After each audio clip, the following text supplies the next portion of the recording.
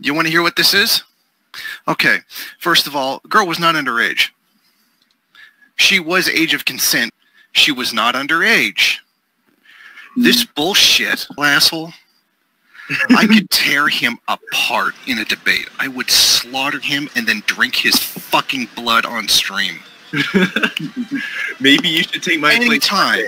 Anytime he wants to try.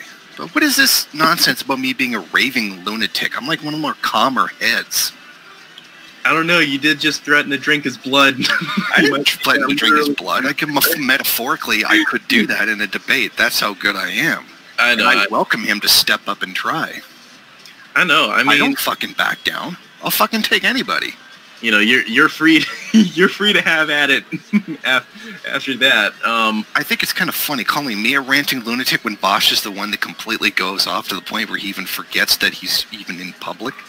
you know, you would say, are are the ravings of a lunatic? Like anybody who's just sitting in front of the computer that long on camera, you're gonna say something dumb eventually. So like, yeah. Or maybe he's just dumb. And there you go, a cameo from the Jason Unruhe. Man of the hour, ladies and gentlemen. Um,